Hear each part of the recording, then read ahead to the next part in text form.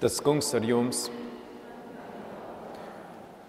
Lasījums no mūsu kunga Jēzus Kristus evaņģēlija, ko uzrakstījis Jānis 15. nodaļā. Jēzus saka, kā tēvs mani ir mīlējis, arī es jūs esmu mīlējis. Palieciet manā mīlestībā Ja jūs turēsiet manus baušļus, jūs paliksiet manā mīlestībā. Tāpat kā es esmu turējis sava tēva baušļus un palieku viņa mīlestībā. To es jums esmu sacījis tādēļ, lai mans prieks būtu jūsos un jūsu prieks būtu pilnīgs. Mans bauslis ir mīliet citu tāpat kā es jūs esmu mīlējis. Nevienam nav lielākas mīlestības par to, ja kāds savu dzīvību atdod par saviem draugiem. Jūs esat mani draugi, ja jūs darāt, ko es jums pavēlu. Es jūs vairs nesaucu par kalpiem, jo to, ko dara kungs, viņa kalps nezina. Es jūs saucu par draugiem, jo es esmu jums darījis zināmu visu, ko dzirdēju no tēva. Ne jūs izraudzējāt mani, bet es jūs izraudzēju un liku, ka jūs ejat un augļus nesat, un ka jūsu augļi paliek, lai visu, ko vien jūs lūgtu manā vārdā no tēva, viņš jums dotu. Es jums to pavēlu, mīliet cits citu. Tā kunga evaņģēlīs. Debes Tēvs, mēs Tev pateicamies par Tavu vārdu un lūdzam, ka Tavs vārds ir dzīves un darbīgs mūsos. Āmen!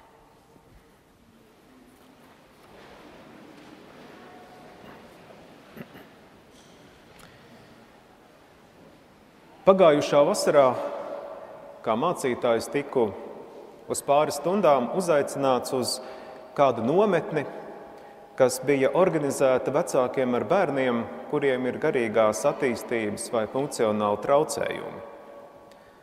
Man vajadzēja ar šo bērnu vecākiem aprunāties par kādām garīgām tēmām, par to, ka katrs cilvēks nes neatkārtojamu vērtību un ka neviens nepiedara viens otram, bet katram cilvēkam, lai kāda būtu viņa dzīve, ir savs stāsts, savs vēstījums, sava nozīme, un ka tieši tas, kas ir necils, mazs, citu neievērots un neatbilstošs mūsu standartiem, nes mums katram vēsti.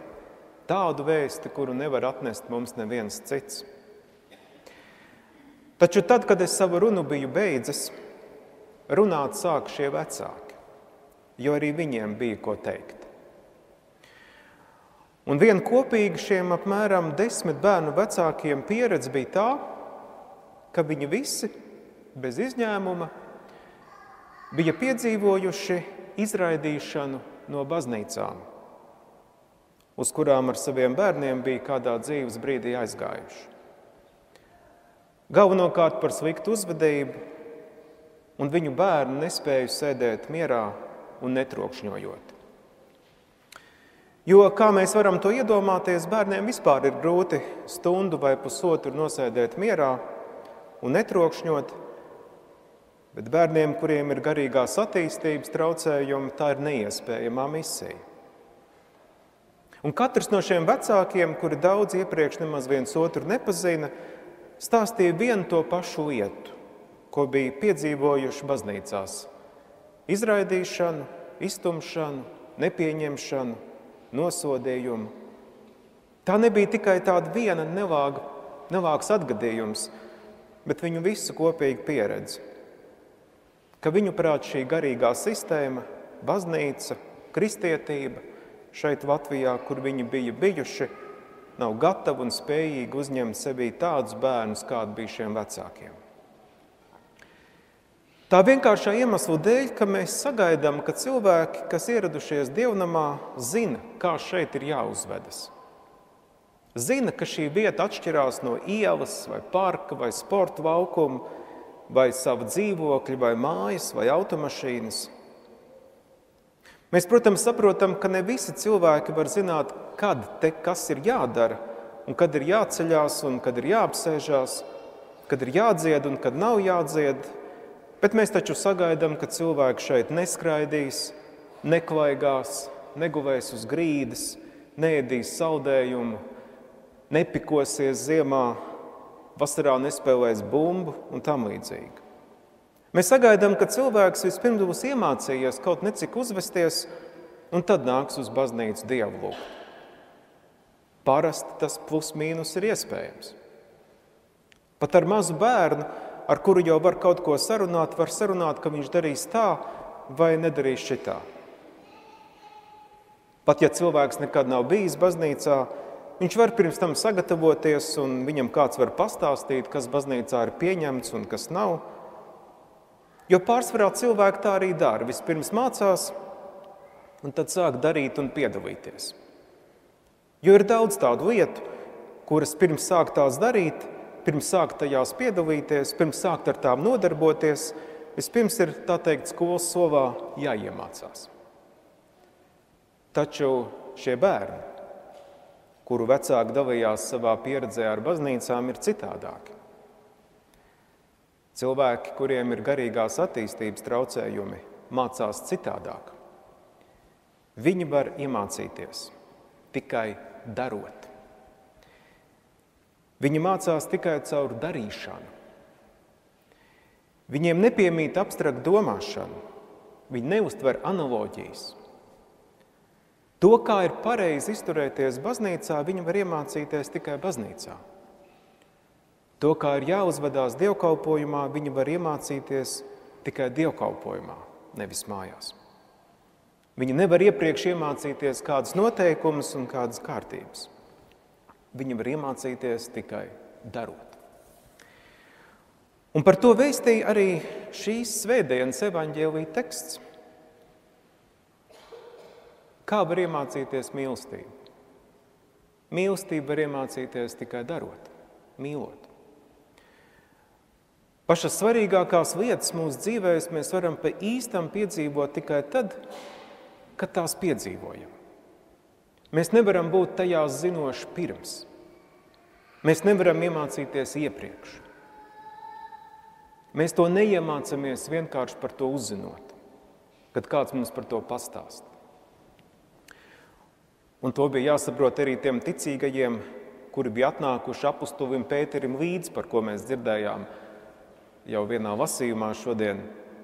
Viņi bija atnākuši apustuvim Pēterim līdzi un bija pārsteigti, ka Dievs savu svētā gara dāvanu izvēs arī pār pagāniem, kurus tie dzirdēja runājam mēlēs un slavējam Dievu. Un kā var no tā teksta saprast, tas bija viņiem vairāk tāds kā nepatīkams pārsteigums – kā kad kāds pārkāp mūsu principus un kārtības vai stāst kaut ko, kas mūs neglauda pa spalvai. Šķiet, ka viņi nebija diezko atvērti. Viņi diezko negribēja šos pagāns kristīt. Viņi nevēlējās tiem kristībām atvēlēt pat ūdeni. Ka Pēterim bija jājautā, vai gan šiem, kas saņēmuši svēto garu, tāpat kā mēs, kāds var liekt ūdeni un tos nekristīt. Un viņam bija jāpavēl šiem ticīgajiem viņus kristīt. Un pēc tā visa šie ļaudis vēl lūdza viņu dažas dienas uzkavēties. Varbūt tāpēc, ka viņi vēlējās tuvāk skaidrojumu par šādu pārsteidzošu rīcību un ierasto normu pārkāpšanu. Vakar, sestdienas vakar dievkalpojumā mēs sākām pārdomāt to, ka visa Bībele ir apzināti veidots tekstu krājums – lai tas atspoguļotu cilvēka un cilvēces atvēršanos Dieva mīlestībai un atainotu, kā pamazām cilvēks iemācās šo mīlestību praktizēt. Tieši tāpēc Bībele nav recepte vai kāda gatava atbilžu kopums, kas veido kādu nepretrunīgu saskaņotu bildi, bet tā ataino attīstību. Cilvēka un cilvēces iekšējo un ārējo attīstību, kuras virsotne, kuras piepildījums ir mīlestība. Labas mīlestības prakse nerodas uzreiz. Bībele atspoguļo šīs prakses mācīšanos daudzu gadsimtu garumā. Nu, piemēram, vecākajā Bībeles grāmatā, Ījab grāmatā, mēs sastopam ļoti interesantu konceptu par Dievu kuram diez vai kāds no mums būtu gatavs ticēt, proti, Dievu, kurš ir līdzvērtīgs ar sātanu, ar kuru tas sadarbojās un kopīgi iesaistās kādā savādā darījumā pret cilvēku vārdā Ieps. Vai pirmajā mūzes grāmatā Dievs bieži tiek saukts ebreju vārdā Elohim, kas patiesībā ir nevis vienskaitlis, bet daudzskaitlis, tā teikt, Dieva koncils. Bet ar Abrahāmu skatuves parādās viens vienīgs Dievs, Jahve, kurš kļūst par galveno varoni ebreju garīgajā ceļā. Bet arī šī dieva tēls mainās. No viena kara dieva un upurus prasoša dieva līdz dievam, kuram riebj visi šie upuri un ķerkstošās dziesmas, kas viņam tiek dziedāts. Tās ir tādas ļoti saudabīgas un mērķiecīgas pārmaiņas, tāda attīstība, kuru varam izsekot līdzi vecā derībā. Un tad nāk Jēzus, kurš stāsta par Dievu kā abu šo mīlestību, žēlastības un taisnīgumu tēvu. Un tad tas tik, ir tik atšķirīgi no valdošā ieskata, ka Jēzus tiek sodīts ar nāvu par Dievu zaimošanu. Un viņa vēsts nebūtu uzreiz neiesakņojas arī visos viņa sekotājos, kā to redzējām šodienas piemērā no apustuļa Pētera dzīves. Labas mīlestības praksa nerodas uzreiz. Un Bībelē mēs redzam aprakstītu šo neparasto mīlestības ekspansijas atvēršanās trajektoriju. Tā ir virzība no viena cilvēka ādama uz vienu ģimeni, tad uz vienu cilti, tad uz vienu nāciju, un tad uz visu Dieva radīto cilvēci, kuru grib ietvert Dieva mīlestību. Tas ir ceļš no tumsas radīšanas stāsta sākumā uz gaismas pilnu pasauli, kurai vairs nevajag pat sauli, kā sacīts Jāņa atklāsmes grāmatā pēdējā Bībeles grāmatā. Patiesībā šīs attīstības, šīs trajektorijas mērķis ir kāda ļoti neparasta pasaule, par kuru mēs lasām šajā pēdējā Bībeles grāmatā. Caurspīdīga pasaule, kura ir celta no no stikla, pilsēta no stikla, kurā viss ir redzams, kurā nevalda vairs bailes, kauns, vaina, kurā vairs nekas nav svēpjams nevis tāpēc, ka visi ir iemācījušies pareizi uzvesties, vai visi ir kļuvuši perfekti, vai cenšas izlikties, jo nepārtraukti tiek novēroti, bet gan tāpēc, ka cilvēks cilvēku šajā pasaulē spēj absolūti pieņemt ar visu, kas otrā ir.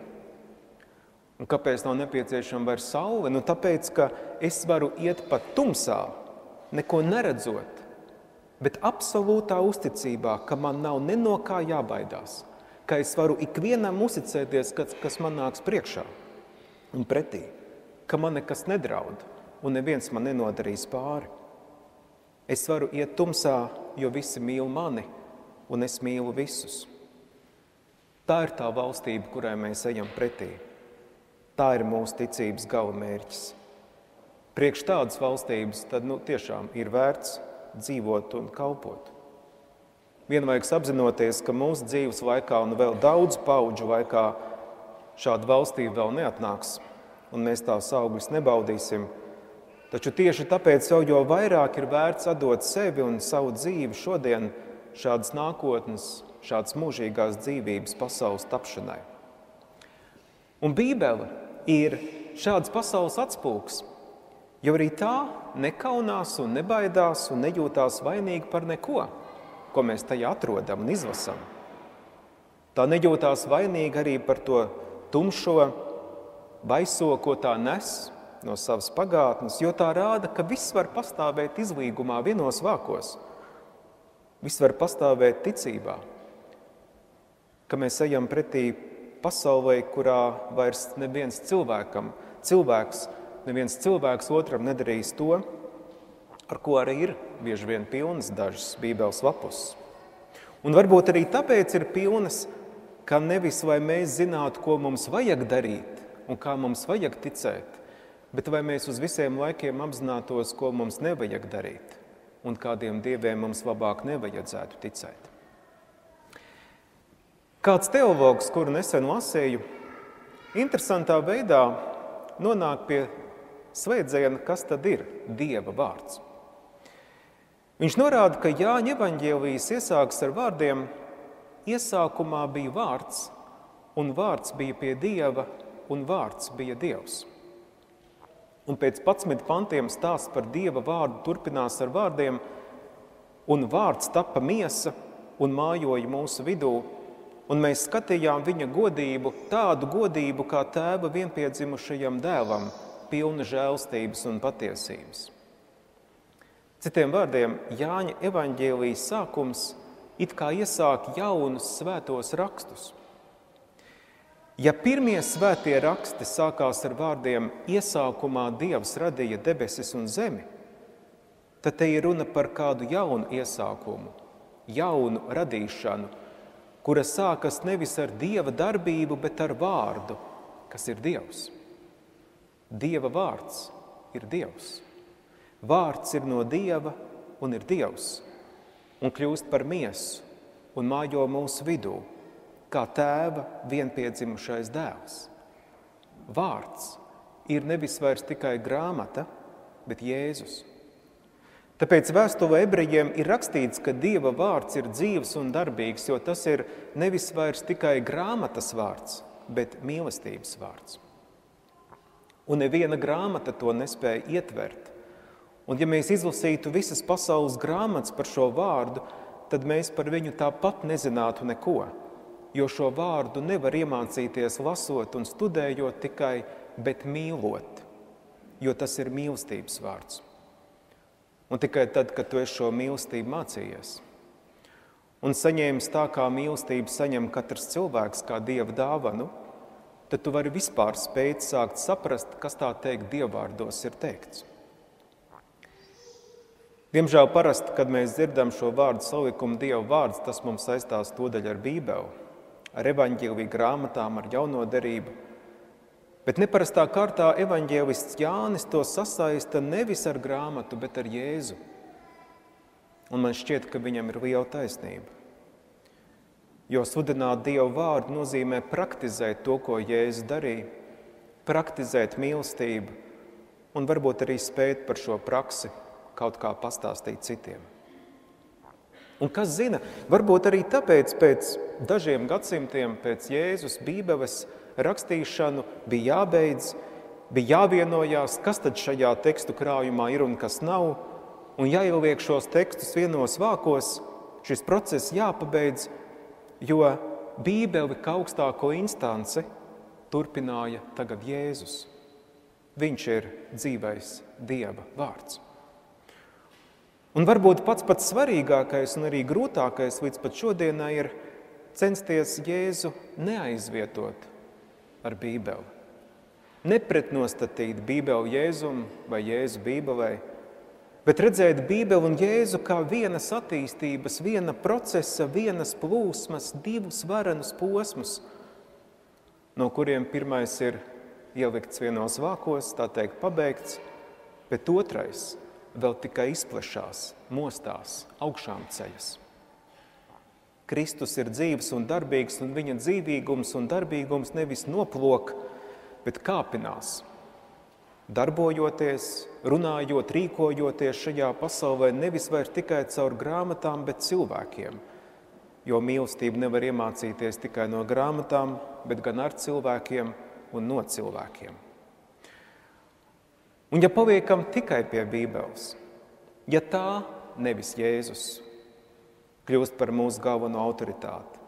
Ja neļaujam Jēzum līdzsvarot Bībeli, ja nelasām un neraugāmies Bībelē caur Jēzus prizmu, ja neļaujam Jēzum skaidrot visu, kas Bībelē teikts, tad ir liels risks atkrist atpakaļ. Tajā, ka izmantojam Bībelē teikto, lai attaisnot savas rīcības, tad ir liels risks sākt ticēt, ka mēs esam izredzēti ļaudis, kurus Dievs pacēlis pār citiem un labē tieši mūsu pareizības versiju iepratī daudzām citām. Un ja krītam tajā atpakaļ, ja nošķiram šos vārdus no konteksta un izprotam tos caur mūsu perspektīvas prizmu, Var notikt tā, ka mēs ar pasauli manipulējam tā vietā, lai darbotos tās pestīšanas labā. Manis pieminētais teologs Brendans Robertsons runā par trim veidiem, kā Bībeli varētu lietot šī laikmeta cilvēki un draudzes.